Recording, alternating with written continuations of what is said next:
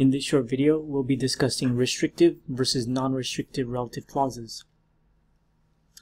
When we discuss restrictive and non-restrictive relative clauses, we're not discussing new types of relative clauses, but we're discussing the different meanings in relative clauses.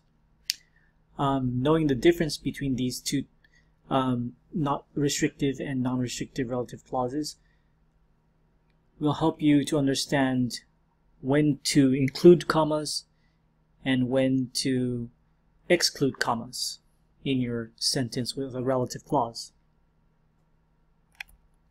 So let's take a look at restrictive relative clauses first. So restrictive relative clauses pro provide information in the relative clause that's needed to identify which specific noun you're describing. We can use the relative pronouns who, which, whom, that, and whose. So we can use all of them. And for restrictive relative clauses, we do not use commas. So let's take a look at several examples. We have the sentences, there are 100 students in the classroom. The student who is majoring in psychology is from Saudi Arabia. We could also use that in this relative clause. Of course, this relative clause is describing this subject, the student. But notice we do not use commas around this relative clause. And the reason why is that we need this information who is majoring in psychology to determine which student we're talking about. So in other words, if we take out this relative clause, the sentence is not going to make sense. So we imagine there are 100 students in the classroom, and we're, we're talking about one particular student. If we say the student is from Saudi Arabia, we'll have no idea who we're talking about in a class of 100 students. But if we add this restricted relative clause, who is majoring in psychology, we can pick out the one student, the one that's majoring in psychology, and this student is the student from Saudi Arabia. So we need this information to pick out which student we're talking about. Here's another example. The student whom you mentioned yesterday is an excellent artist. We could also say the student that you mentioned yesterday is an excellent artist. So again, we need this relative clause to identify which student we're talking about. If we take out the relative clause, we end up with the sentence, the student is an excellent artist. We have no idea which student is being talked about. So we need this information to determine which specific student we're talking about. Another example. The student whose art you enjoy is transferring to the Art Center College of Design. So again, um, we can use the relative pronoun whose. Whose art you enjoy is the relative clause that specifies which student we're talking about.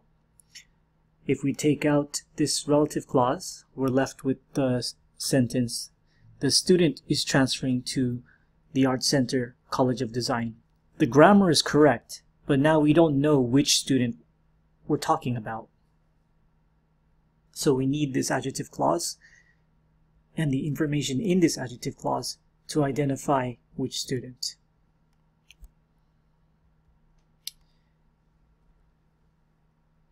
The other type of uh, relative, relative clause we're talking about is the non-restrictive relative clause and non-restrictive relative clauses provide information in the relative clause that's just extra information. It's not needed to identify the noun you're describing. And with the non-restricted relative clauses, we can use the relative pronouns who, which, whom, and whose. If you notice in this list, we don't have that. And we can't use that in a non-restrictive relative clause. Also, we use commas to separate non-restrictive relative clauses from the rest of the sentence. So let's look at a couple of examples. We have the first sentence, Santa Monica College, which is a community college in Southern California, attracts many international students. So notice that we have this relative clause, which is a community college in Southern California. It's describing Santa Monica College, but we have commas around this adjective clause. And again, the reason why we have commas around this adjective clause is that we don't really need this information in the relative clause. We can very easily take out this information and we're left with the sentence Santa Monica College attracts many international students. We don't need this information to identify which Santa Monica College. There's only one Santa Monica College, so it's extra information. Let's take a look at the next one. Harvard College, which is located on the east coast of the United States, is often ranked as the number one university in the world. We have a relative clause, which is located on the east coast of the United States. And this is a non-restricted relative clause. We have commas around it. And again, this is because we can take out the relative clause and we have a sentence that still makes sense. We get Harvard College is often ranked as the number one university in the world.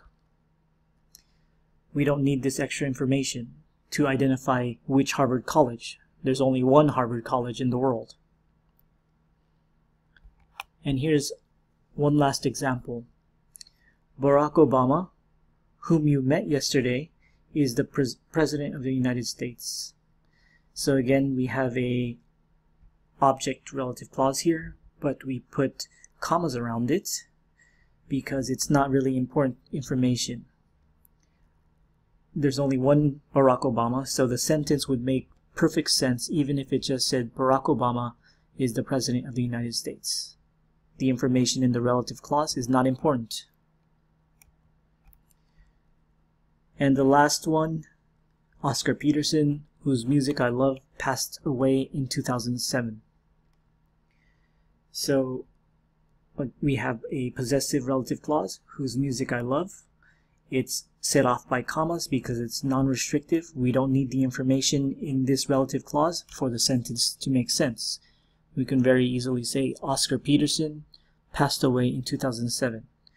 There's only one Oscar Peterson that most people know is a famous musician, so we don't need to have this extra information whose music I love.